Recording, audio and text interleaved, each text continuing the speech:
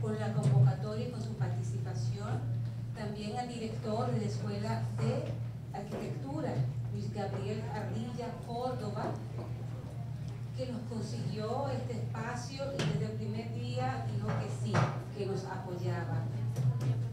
A la directora de la Escuela de Comunicación, Ana América Michardo, muchísimas gracias también por el apoyo. Antes de revisar una foto para recordar este momento, ¿verdad? Que después ahorita Así como poco a poco nos vamos viendo. Así, eh, con los directores, esa foto no puede quedar. Y con las expositoras. Y el alumnado, obviamente. Profes, por favor, a comenzar a un muy buen nivel. Entonces voy a, luego de los agradecimientos,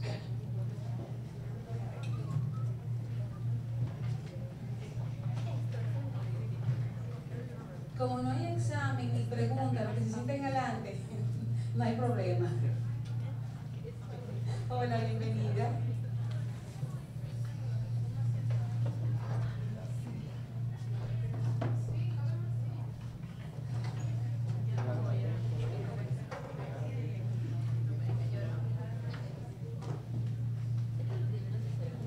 Bien, entonces, ahora sí vamos a comenzar formalmente, porque si iniciamos a tiempo también implica que terminamos a tiempo, ¿verdad? Y aquí todas y todos tenemos otras asignaturas que ir a dar clases. ¿Por qué esta actividad? ¿Por qué hablar de salud mental y vida universitaria? Porque nosotras, profesoras, estamos con ustedes cada día y uno se da cuenta de que a veces alguno o alguna está desregulada o desregulado. Y qué mejor que mi alma mater para que tenga en cuenta cómo yo me siento, cómo anda mi salud mental. Particularmente siempre digo que el- los estudiantes, para nosotros en la Pucamaima no son un número, son personas. Personas que tienen historias y que cuentan una historia, a veces no tan idílica como quisiéramos. En estos revisando los periódicos internacionales, oigan este titular en Argentina. Ola de consultas por trastornos psíquicos en jóvenes y adolescentes subieron casi el 50% de pedidos de ayuda. Esto fue recién en Argentina, este titular es de ayer. En España, la presidenta de la Sociedad de Psiquiatría de Madrid dice, los problemas de salud mental en jóvenes nos tienen desbordados.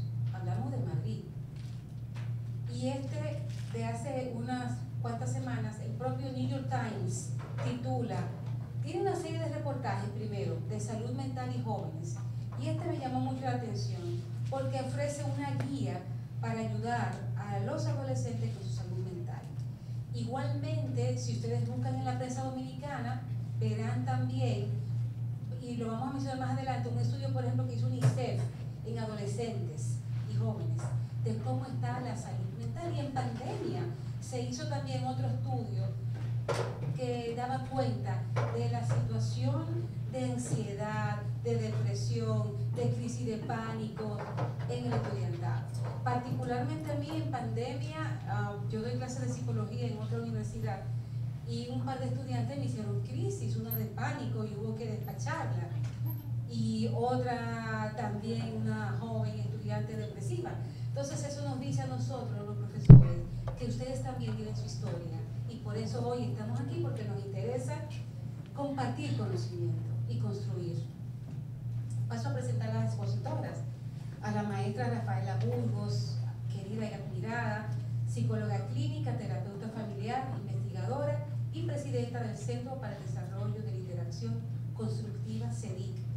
Ella es docente de la Escuela de Psicología y del área de posgrado, acá en nuestra alma mater, Pucamaima, así como en la residencia de psiquiatría infanto-juvenil del Hospital Dr. Robert D. Cabral y miembro de la Sociedad Internacional para la Prevención del Abuso y la Negligencia en los Niños, embajadora nacional de la campaña Necesitamos a todo el mundo para eliminar la violencia en la niñez, de World Vision, conferencista, facilitadora en entrenamientos de crianza positiva, tan importante y necesaria que es hoy día, porque nuestra sociedad es muy violenta y todavía usamos pela para corregir.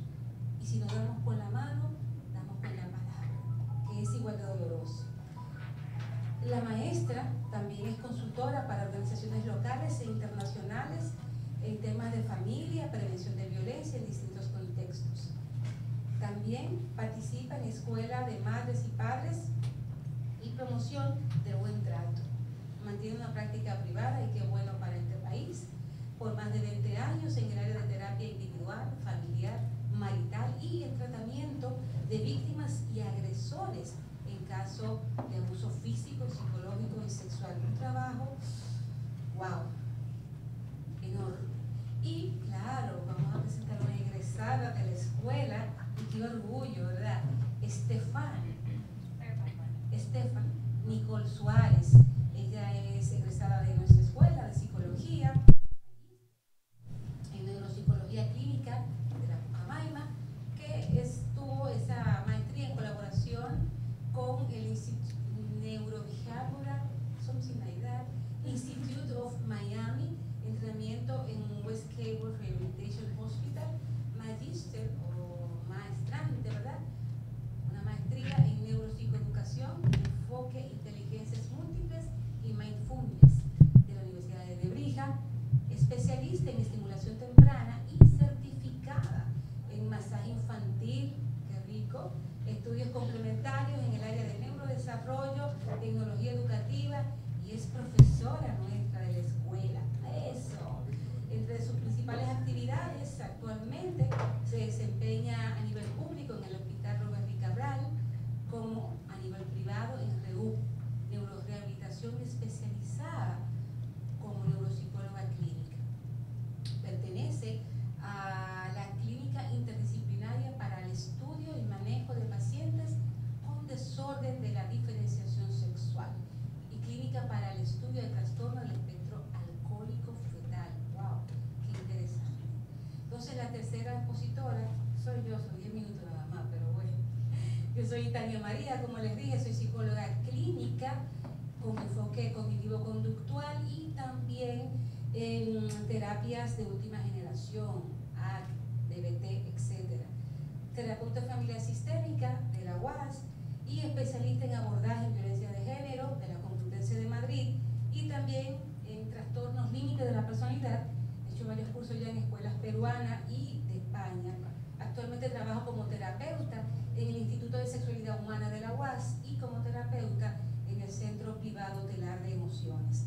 Mi primera carrera comunicación social, especialista en prensa escrita, en audiovisuales y con maestría en comunicación corporativa. Eh, yo empecé muy joven a todo y en el 2008, eh, estoy aquí desde el 2008 como profesora de la Escuela de Comunicación y súper feliz de poder, de poder integrar las dos cosas, porque el tema me viene porque veo muchos reportes de prensa nacionales e internacionales sobre la situación de salud mental de la juventud. Entonces, es, es llegar aquí, eh, de los medios, y de, voy a hablar precisamente de las redes sociales, brevemente, redes sociales y efectos en la juventud. Entonces, sí, ya vamos a comenzar con la maestra, ¿verdad? Vamos a darle un fuerte aplauso. Que se Qué bueno que tenemos tanta gente motivada, interesada en estos temas que nos competen a todos. Como decía Tania María, a ustedes de una forma, a nosotros de otra. Así que es un placer compartir este ratito con ustedes. Vamos a compartir. ¿Cuánto tiempo tengo, Tania? Eh, 20, máximo. Hazme como 10 señales. Por si acaso. Pero la idea es que algunas, eh, qué sé yo, ideas, eh, pensamientos, eh, datos que vamos a compartir, lo que quisiera es que cada quien lo fuera como autorrevisando, que no lo manejemos, que no nos quedemos solamente en el dato, en la información, sino que me dice eso a mí. ¿Eso me está hablando a mí o no? ¿O está hablando de un caso que conozco o de alguna manera se aplica a mi entorno? Para que podamos ir haciendo un poco de, ese, de esa experiencia personal a medida que vayamos compartiendo ideas, que es lo que vamos a hacer aquí. Lo primero es que ustedes enfrentan un cambio importante cuando pasan de la escuela secundaria a la universidad. Hay mucho entusiasmo, mucha motivación, estamos contentos, los padres están felices, va para la universidad, pero hay mucho estrés y hay muchos cambios, muchos cambios. Y esos cambios no solamente son para el estudiante, sino también para la familia. Familia también se estresa, también está sometida a muchas situaciones nuevas que no sabe cómo manejar, que, quisiera hacerlo bien, pero, pero hay muchos eh, elementos que se nos escapan a los hijos, a los padres, y quedamos un poco como a la deriva, entendiendo la situación según se va presentando.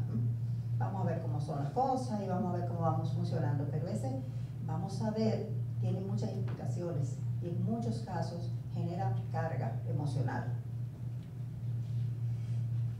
¿De qué hablamos cuando hablamos de expectativas familiares respecto al desarrollo de los jóvenes?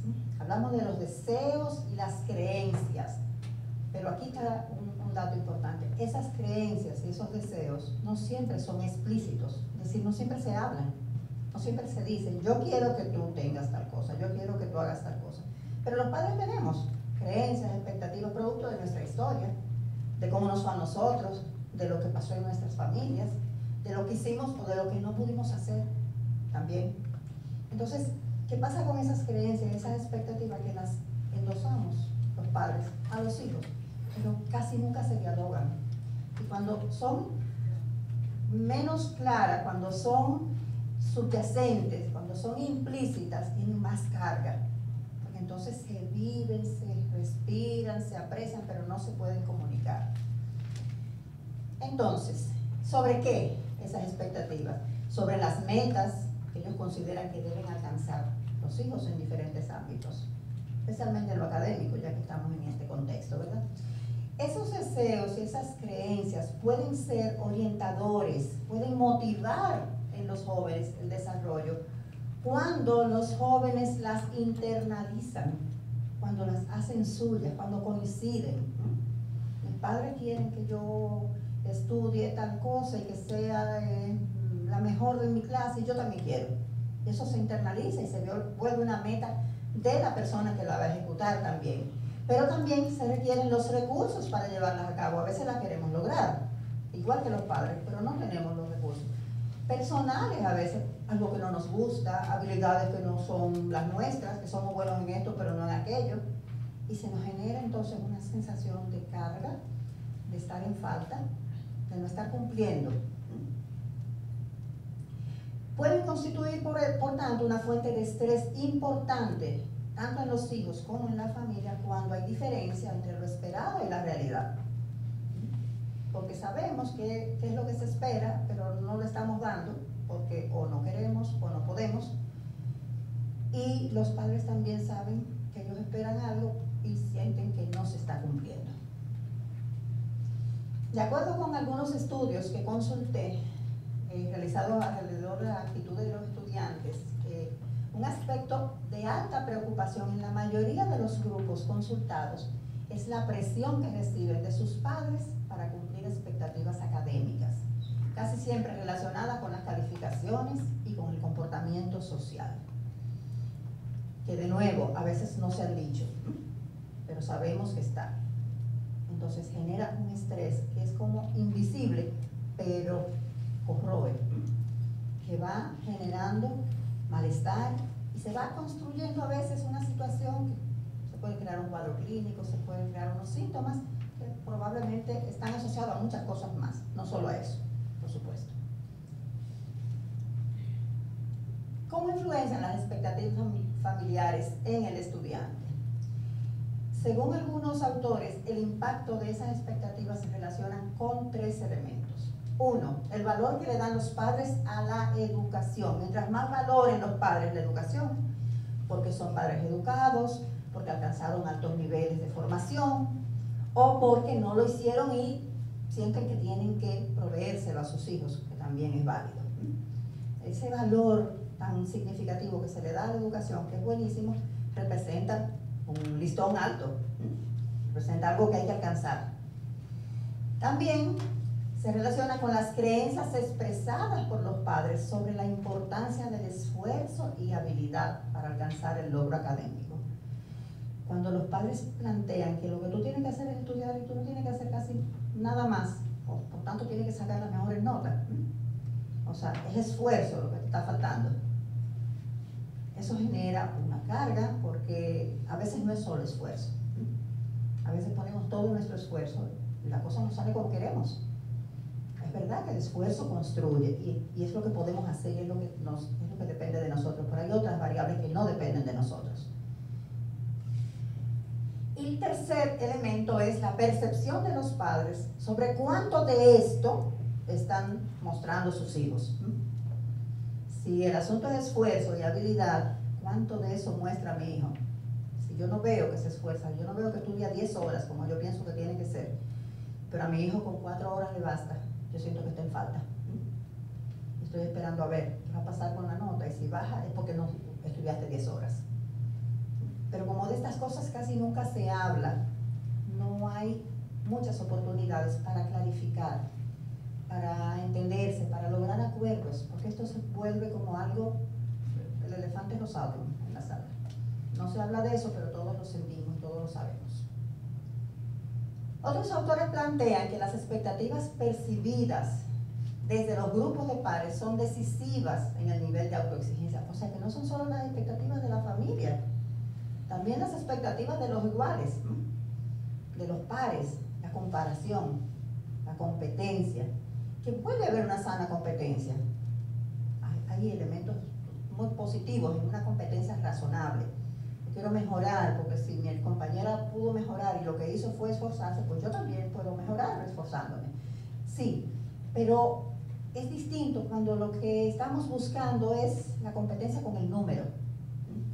Cuidado con los números. Porque tenemos que poner números, los profesores sabemos que tenemos que poner números, pero el número no va a definirte si lo que buscamos es ese numerito y no lo saco, entonces me siento que no valgo, que no sirvo, que no voy a poder. Y estoy descalificándome por un criterio que no siempre depende de mí. Lo que está claro, por lo menos en, en la práctica clínica, es que los dos elementos están coexistiendo las expectativas de los padres y las expectativas de los pares, que luego al final, y Tania va a hablar un poco de los medios, que cómo se filtra la expectativa de los pares a través de los medios y de las redes. Su impacto, sin embargo, ambos, será más o menos determinante en función de otros factores. Es que la vida es complicada. Ya cuando creíamos que era 2 más 2, pues no, es mucho más que esto suceda, que este impacto sea negativo o no sea, pues, o no sea eh, dañino, simplemente se sienta estrés y lo pueda manejar, va a depender de eso que hemos hablado, de cómo los padres lo expresan, lo manejan, de si se habla o no se habla, de qué esperan y qué no sé qué reciben. Pero también de otros factores, como por ejemplo las características personales del estudiante. Una persona más segura, más estable, con una autoestima más fuerte, pues a lo mejor lo maneja de una manera que le afecta menos. La persona más vulnerable, que necesita más aprobación, que siente que, falla y que eso no le permite verse a sí mismo de una manera positiva, pues entonces posiblemente se va a afectar más. Pero también tiene que ver con la historia, qué ha pasado en la historia de esa persona. Y Tania habló mucho de historia, sí somos una historia, de hecho somos muchas historias en una persona. Entonces, ¿qué ha pasado en mi vida? ¿Qué ha pasado en la vida de esa persona? No es lo mismo si viene de eh, tener un gran éxito o haber logrado muchas cosas y de repente cae, como si viene de dificultades que ha ido superando y tiene un momento de debilidad o un momento de dificultad y no logra lo que quiere. O sea, va a tener una implicación distinta dependiendo de cómo ha sido su historia, pero también de la etapa en el ciclo vital.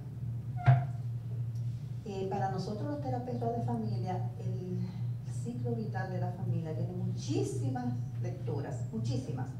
Y la manera en que vivimos cada etapa, la familia lo vive y los miembros de la familia lo viven, se cruzan con los otros, digamos, las otras tareas de desarrollo que se están dando en ese momento. Entonces, dependiendo de cómo se esté viviendo ese momento del ciclo vital, en el que ocurre eso, que es la entrada a la universidad, que es una etapa específica ese círculo, lo vamos a ver en un ratito, eso tiene un impacto en cómo se viva el que mis padres esperen tal cosa, el que yo pueda dar tal otra, o que podamos hablar de eso.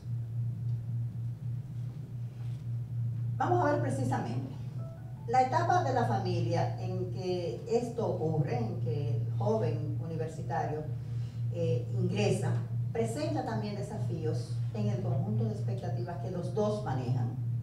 Las expectativas que manejan los padres, las expectativas que manejan ustedes cuando ingresaron a la universidad. ¿Alguien me dice qué esperaba cuando eligió la carrera y se, y se inscribió en la universidad? En una frase. ¿Cuál era la expectativa más clara que tenía? Yo quiero que ayudar a la gente, graduarme, ¿ven? Éxito. Ser feliz. Aprender. Claro. Entonces esas expectativas se pueden cumplir muy bien de una manera o de otra. No hay una sola manera de cumplir eso. ¿eh? Y a lo mejor no se van a cumplir al 100%. ¿Mm? A veces tenemos expectativas también un poco exageradas o fuera de lo, de lo posible. Tenemos que revisarlas de vez en cuando también. Aquí tenemos el ciclo vital, que esto se ve como opaco. No se ve esto, que es lo que yo quería destacar.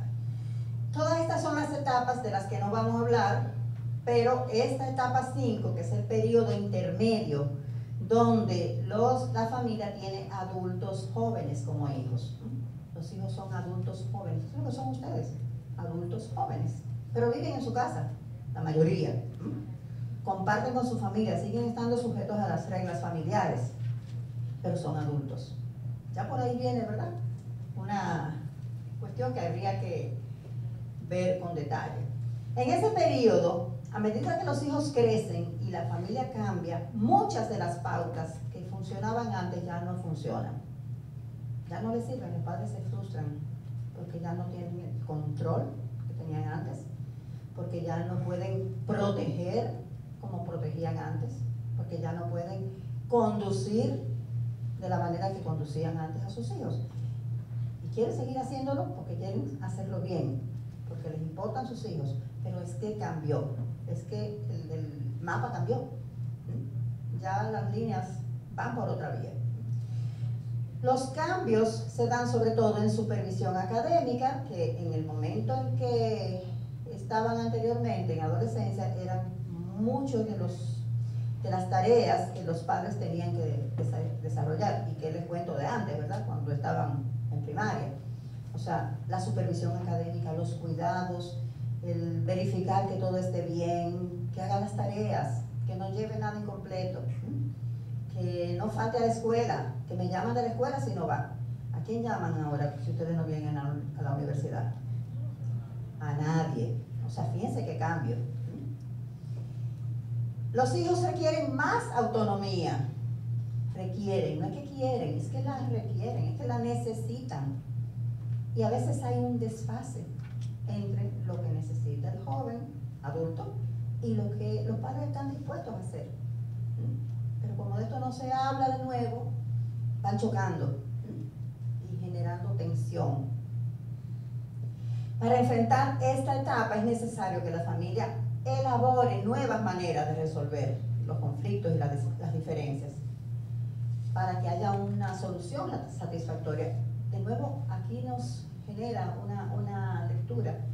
Cuando la familia no puede dar ese paso, cuando no porque no quiere, sino porque quiere hacerlo bien y su manera de hacerlo bien es hacerlo como siempre. Cuando no puede hacer ese paso, ese paso hay una especie de, de atasco. Y hay tensión en todos, en todos. Ustedes vienen estresados a la universidad, los padres se quedan estresados. A lo mejor están eh, juntándose, compartiendo, pero, pero no se relajan porque hay toda una parte no resuelta. Situaciones que no están saliendo como ninguno de los dos quiere y no se están pudiendo analizar. A menudo observamos incongruencia entre las expectativas implícitas de la familia respecto al grado de autonomía y de cercanía. Queremos, los padres queremos que los hijos sean grandes, autosuficientes, que se resuelvan, que sean responsables. Queremos adultos, pero a veces nos contradecimos. Queremos adultos que pidan permiso, adultos que, que sean cercanos, que me llamen cuando yo quiero que me llamen que tenga la capacidad de resolver sus cosas, pero que me las cuente, que me dé participación. Y a veces no está claro, no está claro. ¿Qué quieren? ¿Qué, se espera? Otro aspecto a considerar es la lealtad hacia los patrones y las prácticas familiares. ¿Qué significa esto? Que a veces los padres también esperan que los hijos cumplan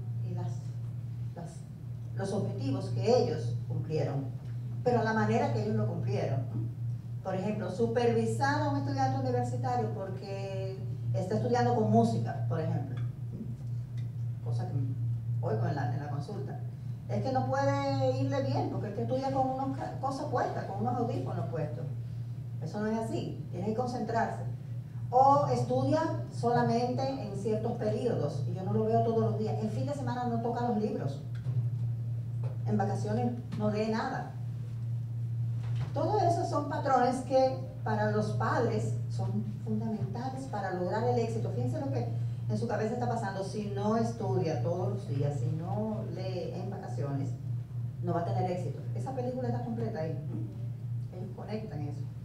Pero ¿qué pasa con, con, los métodos de ustedes que cambiaron, que son distintos y nosotros no los entendemos? Estudian con música, estudian bailando, estudian mientras maquillan y les funciona no se tiene que leer el librado que nosotros no leíamos y andan con la tablet y en el celular se lo leen y lo apuntan todo y les funciona. Pero se nos hace difícil a los padres entender que eso les funciona. Entonces generamos esa, esa tensión.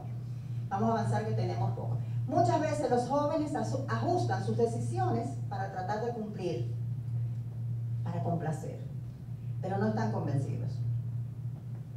Chicos más complacientes, más eh, sumisos en algunas cosas, pues van a intentar llenar esas expectativas para evitar problemas, pero la, la tensión va a estar en la persona, en el individuo.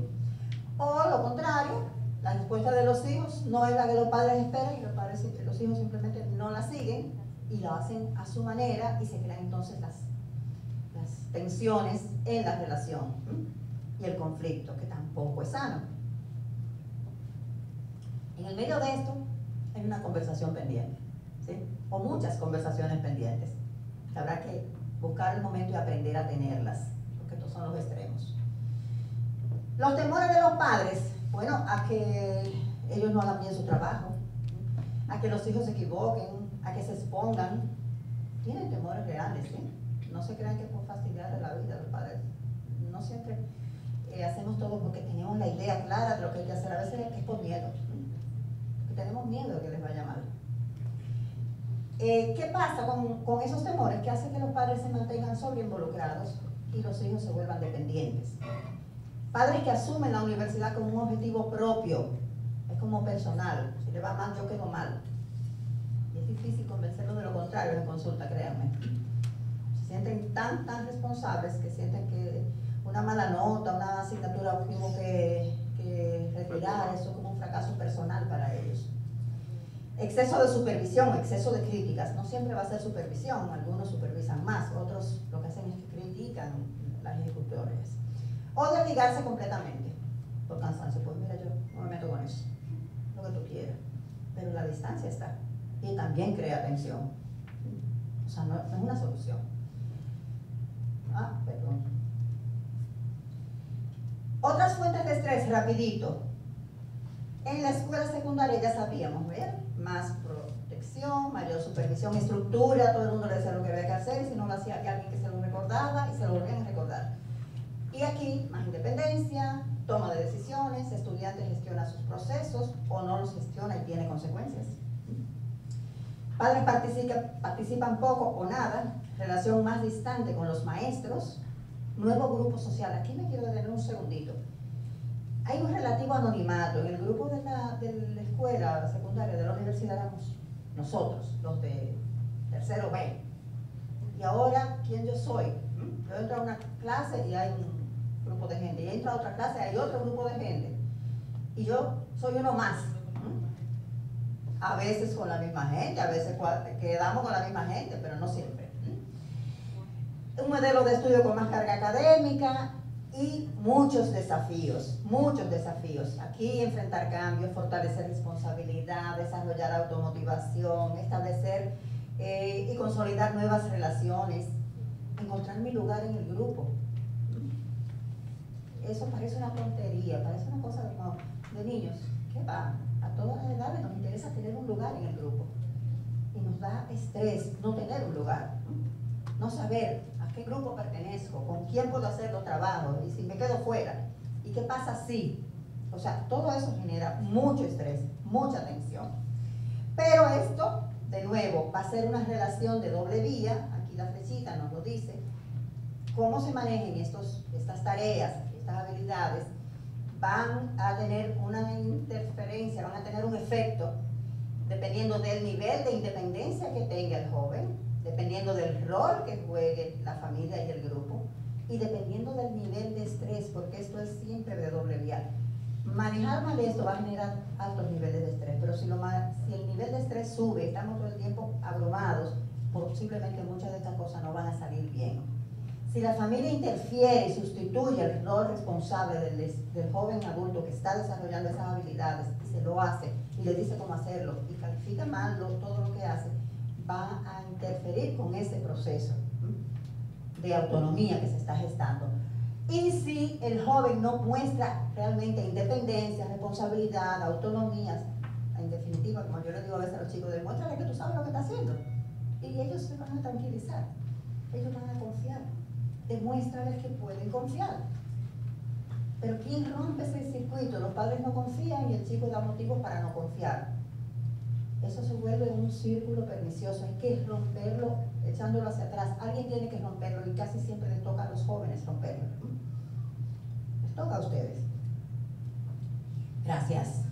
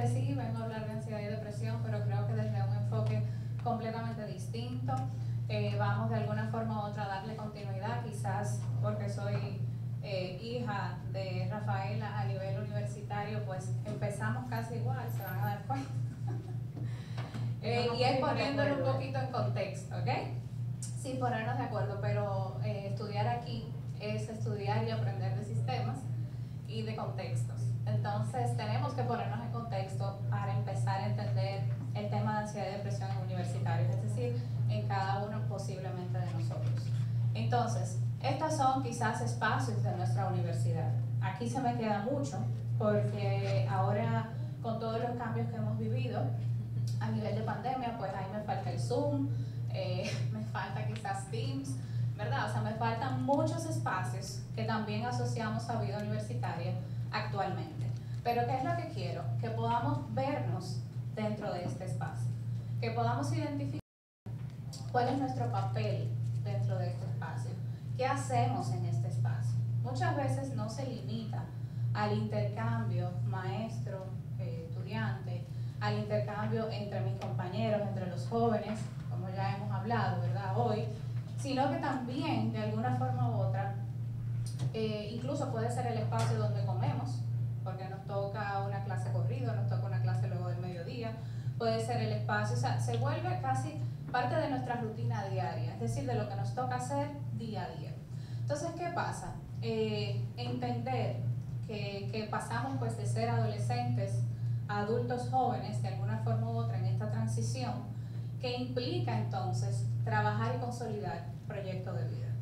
Entonces, si nos ubicamos aquí, que creo que ya lo hemos hecho porque hemos recorrido muy bien lo que implica este cambio, entonces vamos a entender que son nuevas responsabilidades las que tenemos sociales y que también aumentan nuestras presiones psicosociales, que también las hemos en detalle, ¿verdad? ¿Cuál es el componente? Bueno, bueno, evidentemente yo desde la neuropsicología no puedo dejarla fuera.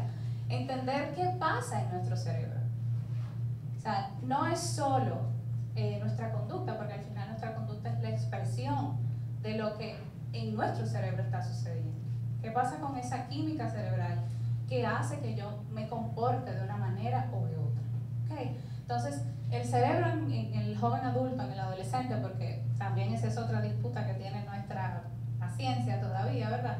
Y es que nuestro cerebro no termina de madurar a nivel eh, posterior, es decir, las partes frontales, hasta 25 o 26 años, todavía peleando ahí para extenderlo un chin. Entonces, ¿qué quiere decir eso? Que hablar de adolescente y adulto joven a nivel de neuropsicología se complica un poquito, ¿ok? Pero, ¿qué sí tenemos que saber? Que el cerebro continúa madurando incluso después de que deja de crecer. Es decir, aunque anatómicamente ya no crece, ¿okay? no hay más masa, no hay más corteza, no va a crear nuevas amígdalas, nuevos hipotálamos, nada de eso, pero sí sigue madurando, porque la maduración cerebral no tiene que ver con la parte anatómica, sino con la parte más neurofisiológica. ¿okay? La parte frontal del cerebro, que es la corteza prefrontal, y es una de nuestras regiones las últimas regiones en madurar, eso ya lo dije, que se está discutiendo si de 25 o 26 años y sabemos que en edad promedio nuestras aulas encontramos 20, 22, ¿verdad? 25 quizás, por ahí, ¿cierto? En edades estoy hablando. Las actividades académicas o mentales desafiantes, el ejercicio, las actividades creativas, como el arte, pueden ayudar al cerebro a madurar y aprender. Y yo sé que aquí tenemos la riqueza hoy de compartir diferentes escuelas y bueno, entonces aquí aprovechar también que ahí quizás arquitectura nos pueda llevar algo de ventaja, ¿verdad? Porque estimula bastante estas áreas. Los cambios continuos en el cerebro, junto con los cambios físicos, emocionales y sociales, pueden hacer que los adolescentes sean más vulnerables a problemas de salud mental. Y eso vuelvo y lo digo, esos cambios continuos nos hacen vulnerables. Eh, hay un concepto del que difiero bastante, aunque lo entiendo, aunque la lógica me permite entenderlo, y es que siempre se trata de decir que el adolescente adolece de algo, o que le falta algo, ¿verdad? Y es un concepto que debemos realmente mitigar por completo, porque es todo lo contrario. Es un cerebro que está sobreestimulado, que está eh, trabajando 25 veces más y por tanto necesita también de este espacio de comprensión en todos los que estamos en. Porque acomodar todo eso que está sucediendo cuesta. ¿okay? Y eso es lo que hace que sea una de las etapas del, del desarrollo, del neurodesarrollo, más vulnerable. ¿okay? Entonces, el cerebro adolescente puede ser más susceptible al estrés, evidentemente, o sea, eso está comprobado científicamente, y las investigaciones muestran que las concentraciones de melatonina, que es la hormona que relacionamos al sueño, en la sangre son naturalmente más altas más tarde en la noche y más tarde en la mañana que la mayoría de los niños y adultos. Entonces, eso desmonta un poco, y como decía Rafaela, la expectativa de papá de que te acuestes temprano y de que no te levantes tan tarde. ¿ok? Porque al final definitivamente sí hay un cambio en la forma en cómo manejamos nuestra química cerebral y sobre todo relacionado a la melatonina, con ello dopamina y muchos más que tienen otras funciones, pero quise resaltar esa porque sé que es una de las demandas más comunes en los padres. Entonces es por ello que hay muchos jóvenes eh, que les favorece estudiar de noche, que les favorece acostarse tarde en esta práctica y que bueno, al final vamos a hablar un poquito de autocuidado y de cómo regular esto para que al final tampoco se complique porque es importante regularlo, pero sí es cierto que hay una motivación que hace que este eh, cambio en la conducta se dé. Otro concepto que no puedo dejar para hablar del cerebro adolescente es la poda neuronal. La poda neuronal no es más que una limpieza que hace nuestro cerebro para poder adaptarse al medio, para poder recibir información nueva. O sea que es una adaptación funcional, lo hace funcional y lo hace ser más productivo, de hecho. ¿Okay? El adolescente tiene que hacer esto, pero mucho, porque es un momento en el que nosotros tenemos muchísimas conexiones acumuladas que tenemos que regular. Eh, esto me acuerda muchísimo y no es que exactamente sea así, pero nos ayuda a entender un poquito en un lenguaje más llano al adolescente que siempre dice, oye, ¿para qué fue que me enseñaron esto en el colegio? O me dice, oye, pero sí, en el colegio, ¿por qué no me enseñaron mejor a cómo ahorrar, a cómo ir al banco? Ahora no puedo resolver problemas cotidianos de mi vida. O sea, realmente está ajustando y diciendo, mira, esto me sirve, esto no me sirve. Entonces está haciendo como una categorización y organizando información y madurando, ¿verdad? Entonces eso lo hace a través de procesos como, como es la poda neuronal. Entonces, es importante para mí, y miren, todavía no hemos hablado de ansiedad y depresión, pero esto es importante que lo entendamos para poder entender lo demás. El concepto de inteligencia, porque es un concepto que cada día evoluciona. Y si nos quedamos en el concepto de inteligencia que quizás en algún momento se nos vendió, que, bueno, el que era muy bueno en las lógico-matemáticas o el que era muy bueno en el área de la lectura, ¿verdad? O, en el área, ¿verdad? Eh, eso, lengua española, básicamente, eran las dos áreas como, como macro. Y después las cuatro materias básicas, no sé si recuerdan ese concepto. Eh, naturales, sociales, español y matemáticas, como que todas las demás eran básicas. Entonces, todo esto se ha ido moldeando y reestructurando, porque al final inteligencia y Gartner nos enseñó que es poder resolver problemas o para poder elaborar productos que son de importancia en un contexto cultural o en una comunidad determinada. ¿De qué me sirve lo que sé si lo que sé no trasciende mi persona? ¿Okay? Si no me permite resolver una situación. ¿Okay? En el niño que es inteligencia, o el niño se cortó un poquito y solito pudo ir pudo buscar algo para trabajar, o te lo puede verbalizar, mira, me acabo de cortar, necesito ayuda, eso es inteligencia, porque está buscando la solución a través de la información que tiene. Por eso ahora hablamos de currículums que son por competencias.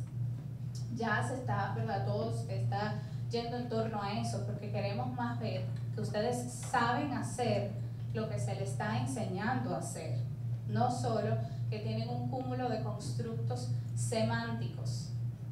Constructos semánticos es poder recordar párrafos, es poder recordar palabras, definiciones que en un momento pensamos que era inteligencia y que hoy sabemos que quizás es una capacidad de memoria muy buena o muy marcada en un estudiante.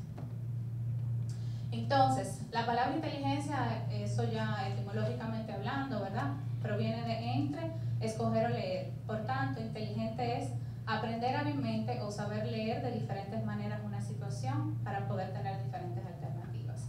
Y aquí hay un, un constructo perdón, que en neuropsicología utilizamos mucho, que es el funcionamiento ejecutivo y la flexibilidad cognitiva.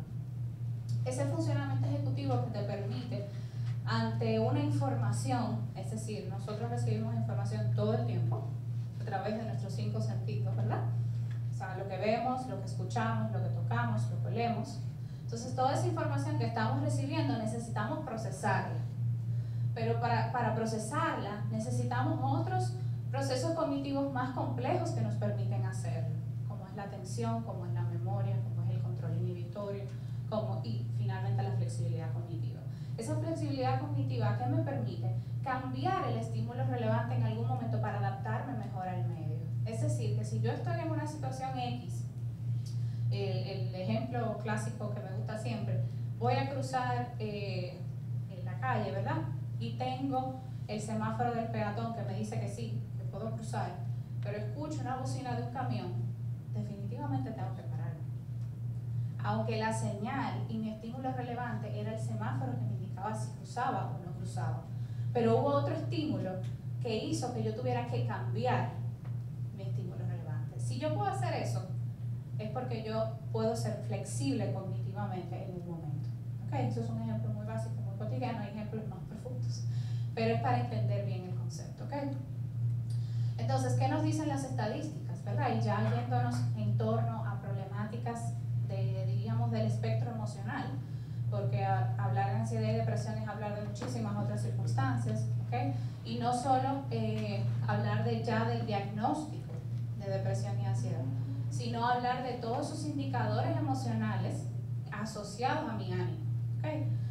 Entonces, ¿qué nos dicen las estadísticas? Bueno, primero nos dicen que hay una prevalencia de un 26.4% en estudiantes de primer año y de 8.9% en el sexto. O sea que definitivamente que en nuestros primeros años de carrera el riesgo es mucho más alto. ¿okay? Y un poco se explica desde todo lo que hemos ido viendo de los cambios esos primeros periodos, que luego nos vamos adaptando. Se va haciendo un medio, se van haciendo situaciones más cotidianas, vamos, esa inteligencia empieza a trabajar, ¿verdad? Y nos va ayudando a consolidar nuevas formas de solucionar las cosas.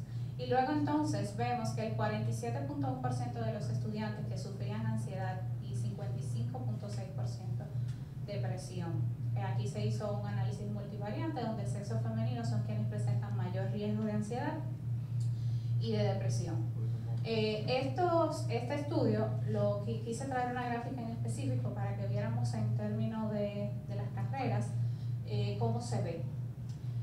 Por supuesto, esto no, no, es estático ni mucho menos, ¿verdad? Pero las estadísticas siempre nos, nos dan como un poco de luz y nos ayudan a enmarcar algunas cosas.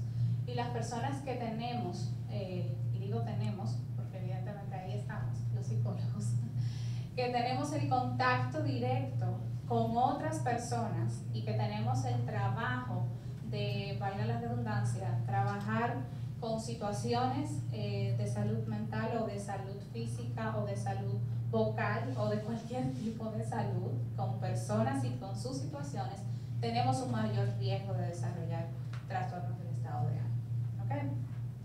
¿Cómo se ve? Pues bueno, aquí están los de atención prehospitalaria, se hizo esa diferenciación porque ahí entran eh, los estudiantes que asisten a hospitales. Esos son los que tienen mayor riesgo. Los que están en, en la Candelaria, dicen por ahí, ¿verdad? O sea, que están en la parte más, más dura. Ingenieros biomédicos, biología, fisioterapia, derecho, psicología, veterinaria y zootecnia, eh, odontología y medicina. Si nos damos cuenta, también eh, están otras áreas que, al final pertenecen a la misma facultad por el tema de eh, la parte que conversamos ya, ¿ok? O sea, de que tiene que ver con la dinámica de la relación con personas, ¿de acuerdo? O sea, que hay otras carreras que pertenecen a la misma facultad que también tienen riesgo. Entonces ya sí, hablarles de ansiedad y depresión y no de el día difícil, y no de el día difícil, eh, y no de quizás... Eh, situaciones esporádicas, situacionales o particulares, sino del diagnóstico clínico como tal. Eh, nosotros tenemos dos manuales diagnósticos que nos ayudan a ver, identificar esto, que son el DSM-5 y el CIE-11. Eh, sin embargo, eh, yo quise traerle aquí cosas que son muy, muy reales, donde podamos entenderlo quizás un poquito más. estas son expresiones que quizás si me aparece en un mal día, porque no me fue bien en un examen, porque peleé con mi familia eh, antes de venir, como decía Rafaela, ¿verdad? Y eso nos genera ese estrés de venir a la universidad, o cualquier otra situación que me pueda explicar alguno de estos lenguajes corporales y que es propio de ese día, pues evidentemente no lo vamos a llamar ansiedad, ¿de acuerdo? Para que sea ansiedad, eh, tienen que existir criterios clínicos como les dije, que nos, nos explica nuestro manual, y uno de ellos es la presencia de los síntomas por aproximadamente seis meses. ¿ok? Entonces, antes se habían sacado estos diagnósticos de la ansiedad y estaban en el lenguaje. Hoy vuelven a estar en ansiedad. Y lo traigo a colación porque estas son situaciones que podemos ver dentro del aula de clases. La disfemia es lo que antes se conocía como tartamudez se presenta mucho en los estudiantes a la hora de hacer exposiciones orales y ese temor a hablar en público, ¿verdad? Y muchas veces está presente. Y la disfemia tiene una, una base emocional, es decir, que ya, ya no se considera un trastorno del lenguaje como tal, aunque su expresión y su manifestación sea en el lenguaje. Igual el mutismo selectivo, ¿qué es esto que, que, que hago para evitar una situación de estrés muy fuerte en un contexto en particular o con una persona en particular y simplemente no hablo bajo esa, esa circunstancia en específico o, y no es porque no puedo hablar, porque elegí no hablar en ese contexto. ¿okay? Y luego entonces tenemos en la depresión una diferenciación entre lo que es depresión como tal y la distinción. La depresión la debo tener solo en un periodo de dos semanas, mientras que la distimia ya es de dos meses hacia adelante. Episodios que se presentan en otros trastornos, normalmente la depresión, por ejemplo la bipolaridad, la maníaca, te hace este periodo depresivo y la distimia no aparece en otros trastornos, es meramente ánimo. Puede haber estacionalidad en la depresión y en la distimia no. Y bueno, esos son criterios muy específicos, yo no quiero que nos aprendamos los, los criterios, pero ¿por qué traer esa diapositiva en específico si estamos dentro de diferentes escuelas? Porque utilizamos y hemos eh, normalizado el término de depresión. Y es eh, incluso hemos dicho en algún momento, es que yo estoy depresivo, es que yo me siento depresivo. Entonces tenemos que entender que, que no debemos relajar el término, ¿ok? porque el término que estamos utilizando es un diagnóstico, no es una descripción de mi estado de ánimo. Para describir el estado de ánimo tenemos un banquete de emociones. Podemos decir que estamos tristes, que tenemos miedo, etcétera, etcétera. ¿Okay? Comorbilidades, un millón. Y eso es una de las cosas que quiero resaltar porque muchas veces algunos dicen, pero que este paciente tiene depresión y este no se parecen en nada. Bueno, porque hay 25 situaciones extras que te pueden venir juntas, ¿ok? Entonces puedes tener, por ejemplo, ansiedad, pero hacer ataques de pánico en algún momento, eh, puedes tener un trastorno de estrés postraumático, pero comportarte un comportamiento eh, ansiógeno muy, muy marcado, o sea que esa comorbilidad, esa coexistencia de diferentes situaciones de salud mental se da mucho. La fatiga pandémica universitaria no la podemos dejar porque la pandemia cambió nuestro sistema y con ello pues toda la neurotransmisión cerebral también y por tanto es un concepto que se está entrando dentro de nuestras posibilidades diagnósticas. ¿ok? No todo es depresión, no todo es ansiedad, hay fatiga pandémica universitaria. Es decir, que estamos cansados muchas veces y eso sucede tanto en el estudiante como en el equipo docente, en el equipo administrativo y en todo, porque es una situación que nos ha tocado de frente a todos y no hay excepción. ¿Cómo manifestamos esto en el aula? Voy un poco más rápido por el tiempo. Eh, ¿cómo, lo, ¿Cómo se manifiesta en el aula? ¿Cómo lo puedo ver? Indicadores de ansiedad. Ese que no entrega la tarea a tiempo, que tiene un rendimiento deficiente, sobre todo eh, en momentos particulares, ¿verdad? Que vemos, venía muy bien y de repente pasa esto.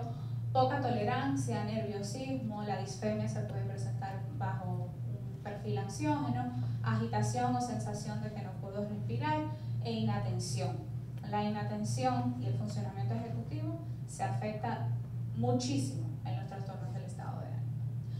Depresión, y eso es, eso es importante porque entonces después queremos decir que es un TDAH. Resulta que no, ¿ok? Cuando hay ánimo de base hay que limpiar el ánimo. Cuando limpiamos el ánimo, si se mantienen las afectaciones de funcionamiento ejecutivo, podemos hablar de ánimo.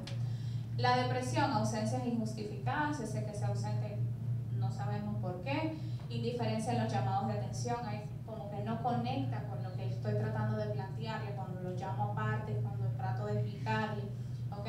Se duerme en las clases, eso pasa mucho, crisis de llanto en presentaciones orales o en participación diaria, así como de repente un estallido emocional. Y esta día difícil también. Y lo traje porque eh, todos tenemos días difíciles y es distinto a los trastornos de estado de ánimo. ¿okay?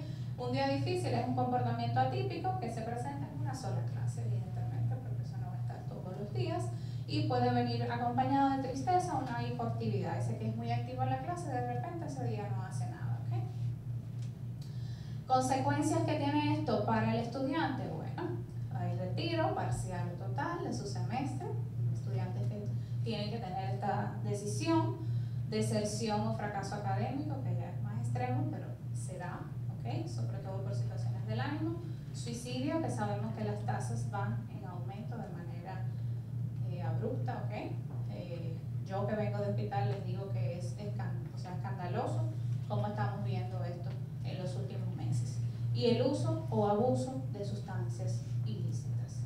Por no decir ahí otros, eh, otras adicciones comportamentales, ¿verdad? Como adicción a redes, adicción a celular eh, y demás, ¿verdad? Pero a fin de cuentas, adicciones, por ponerlo de alguna manera ahí. ¿Con qué nos quedamos? Definitivamente nuestro cerebro es emocional. ¿okay? Y es emocional porque una forma de nosotros entender esto es pensar por qué nosotros somos capaces de emocionarnos cuando vemos una escena, una escena de teatro o de cine. Es que a veces nosotros hasta lloramos y sabemos que ese actor está actuando. O sea, sabemos que no es que lo está viviendo, pero nosotros lo lloramos como que ese actor está viviendo esa situación. Y hacemos esto porque, vuelvo y les digo, nuestro cerebro es emocional y nuestra memoria tiene un componente emocional muy alto. Es por eso que quizás este momento, si pensamos que teníamos puesto ayer, algunos que tenemos buena memoria a corto plazo nos acordaremos, otros tendremos que pensarlo mucho, pero quizás si pensamos en situaciones muy puntuales, como el día que me nació un hermano, como el día que tuve un hijo en caso de que hayan tenido, como el día en que papá me dio mi primer carro, como quizás si pensamos en ese día, podremos recordar mucho más fácil que teníamos pues diferencias, las emociones que.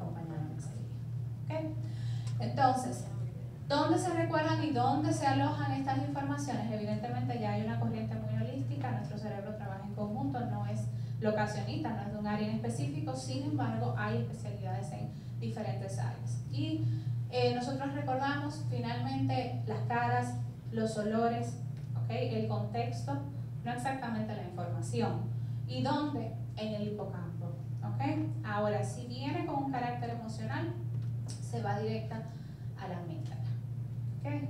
Y no la amígdala de cerebro. Entonces, cuando percibo que un profesor no me quiere, que un compañero de clase se ríe de mí o que no soy capaz de aprender las matemáticas, por ejemplo, todo eso ¿dónde se recoge en el hipotálamo, en la amígdala, porque tiene un carácter emocional muy fuerte. Y si se, se guardó ahí, ¿cómo va a actuar mi cerebro? Como que tiene una amenaza real, percibe una amenaza. Y ante amenazas reales, ¿cómo actúa? Solo así, oída, miedo y agresión, igualito que los animales.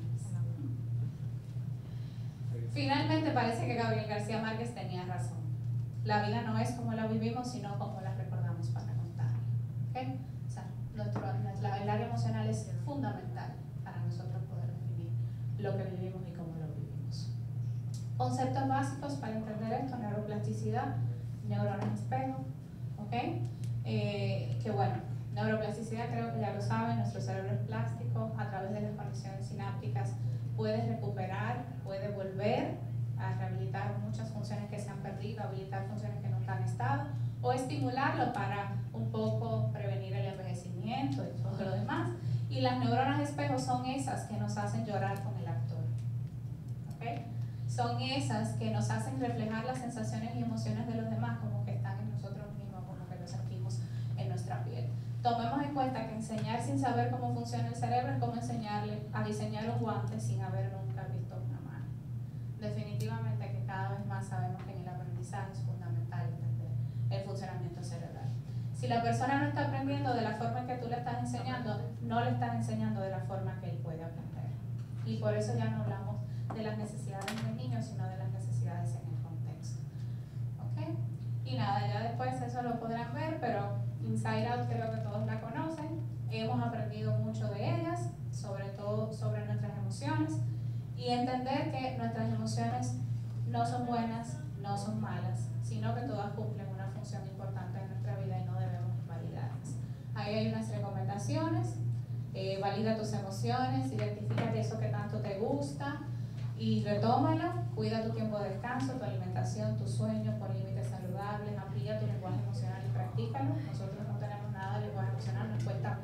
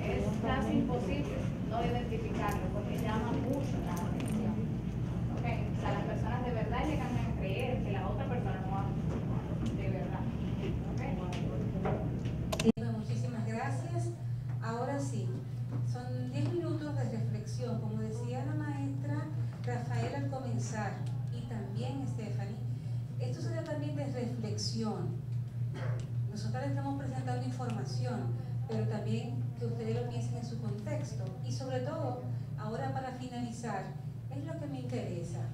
Aquí hay algunas informaciones, ustedes verán si se sienten identificadas o identificados con lo que ven ahí. Al final podemos compartir dos o tres preguntitas, pocas, ¿verdad? Porque ya el tiempo pasa volando y yo sé que ustedes tienen clases y no quiero que me dejen sola aquí hablando yo sola. Reflexión. Como decía Estefan, yo soy de las que vive pegada en las redes. ¿Cuánto tiempo yo le dedico a Instagram, a TikTok? Que tú coges el dedito, rac, rac, rac, rac, rac. Ay, pero pasaron dos horas, yo con el dedito, tac, tac, tac, tac.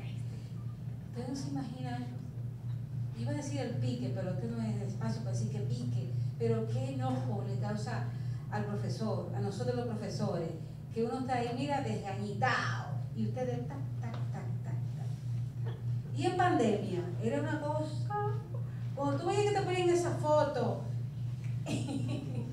fulana, silencio. Eh, ¿Me puedes repetir? Yo me hice muy mala porque yo no repetía. En clase virtual yo no repito porque yo sé que estoy en competencia con el dedito. ¿Hasta qué punto yo estoy ahí? Recuerden que esta es reflexión, yo no estoy afirmando nada, ¿eh? Yo no estoy diciendo que ustedes son los del dedito, que no ponen atención en clase, jamás, ay, no, no, no, no, yo no puedo acusarlo, pero, pero, reflexionemos. Las redes sociales son de verdad nice, chulas, tienen su cosa buena, me ayudan a crear nuevas relaciones.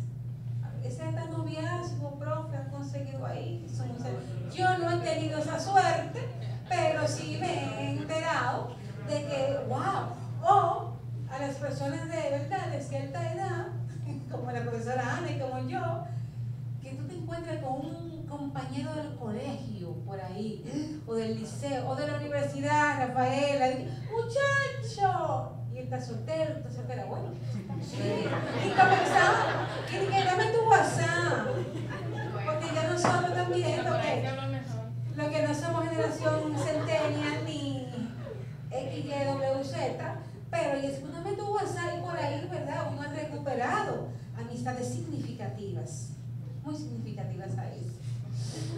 Entonces también yo doy mi opinión y veo las opiniones de los demás, escucho a los demás, me entero de cómo anda el mundo, ¿verdad? Construyo nuevas amistades y me informo de temas de interés, psicología. Hay muy buenas cuentas de psicología, de comunicación también, de arquitectura. Me puedo meter ahí a, por ejemplo, arquitectura, esta arquitectura eh, en Barcelona, esa, esa, esa arquitectura gótica, pero en España también que se hace muy buena psicología, en Chile. Y uno a través de las redes puede acceder. Pero entonces uno comienza como que a preocuparse. Esta información fue del año pasado un estudio que hizo UNICEF, Encuesta Nacional sobre el uso de Internet en niños, niños y adolescentes, en noviembre, diciembre de 2020, con una población de 1.426, es decir, una población significativa, establece que el 57% de los adolescentes dominicanos no se sienten seguros en Internet. Y seguro tiene que, tiene que ver con alguna experiencia que haya vivido. Claro, porque cuando tú haces sexting, cuando tú mandas una foto y mandas tu cara en la foto, y nosotros hemos sabido de casos en colegios que hay niñas que han tenido que quitarla del colegio porque han mandado una foto desnuda y le han hecho el bullying del año. ¿Y cómo queda su salud mental? Entonces, el 57% de los adolescentes tienen miedo. Ay, lo que veo. Pero cuando lo que veo me despierta el guanabí, el quiero ser. Viajes, yo quiero ir a Finlandia a ver la aurora boreal, a Londres, universidades extranjeras. Mira, yo quiero ir, qué sé yo, yo quiero ir a la Complutense a hacer un curso, pero también quiero ir a Londres, ahora está muy de moda Corea, ¡Ah! Corea, BTS, Kudramas. No sé quién es esa profesora que da Kudrama, no, no, no, no, no, para nada. Son las alumnas que me informan. Muy bueno. Digo, bien dicho, muy bueno. Parejas que se aman. Entonces tú ves esa foto de tu amiga del colegio, mi anillo y esa pedida hasta ahora toda dramática que el tipo se hinca y tú dices, Dios, pero, pero ¿por qué ella así? Y yo no. O cuando los muchachos ven que esa muchacha que, que, era su amor siempre se va con otro, o dice, yo quisiera tener el cuerpo que tiene. Yo voy al gimnasio y no puedo. Wannabe, quiero ser. Libertad yo veo en las redes. También los famosos. Yo quiero ser TikToker. Y yo quiero ser Instagramer. Y ahora hay gente que ha comprado perritos, hay gente que ha comprado eh, mascotas porque han potencializado tener un perro en las redes. ¿Y tú? Y esta es la pregunta que le digo, ¿y yo qué estoy haciendo? Quiero ser Instagramer, quiero ser TikToker. Siento envidia, pero de la buena, sí, no, no envidia mala, pero siento alguna envidia de la buena cuando veo lo que las otras chicas pueden y yo no, el cuerpo de la otra, el novio de la otra Pero cuando la envidia da duro, profesora, es cuando encuentran un coreano. ¡Ah! ¡Se levanta un coreano! ¿Cómo es posible? Porque los coreanos están de moda. Los coreanos sí, si buscan en internet, hay un reportaje que publicó un diario norteamericano dando cuenta del turismo de mujeres solteras buscando coreanos. Entonces cuando tú ves que una amiguita tiene un coreano, una vi que siente rabia, pero al mismo tiempo, ¿cómo me afecta mi emocionalidad? mi autoestima, ¿qué pienso yo de mí? Wow, yo ni eso puedo, ni un noviecito puedo, increíble. Fulana sí y yo no. Todo eso me lo genera un simple dedito. El impacto de ese, y esta es la pregunta que les dejo, el impacto de ese dedito que sube y baja es mi emocionalidad. ¿Qué hace? ¿Qué siento? ¿Qué quiero? ¿Qué envidio? ¿Qué tengo que no? ¿Dónde me veo? ¿Cuáles son mis expectativas respecto a mí misma? ¿Qué tengo y qué no tengo? Todo eso me genera un impacto a nivel emocional. Me desregulo. Cuando yo veo que esa tanto que come y no rebaja, y yo que con el aire engordo. Parece chiste, pero lo pensamos. ¿Cómo me siento con todo esto que veo? ¿Cómo me puede afectar? ¿Me afecta? ¿No me afecta? ¿Yo no le paro bola a eso? ¿O de verdad me genera algo? Que esa es la pregunta que yo quiero que se. ¿Qué me genera el ver el wannabe en las redes? ¿Qué me genera?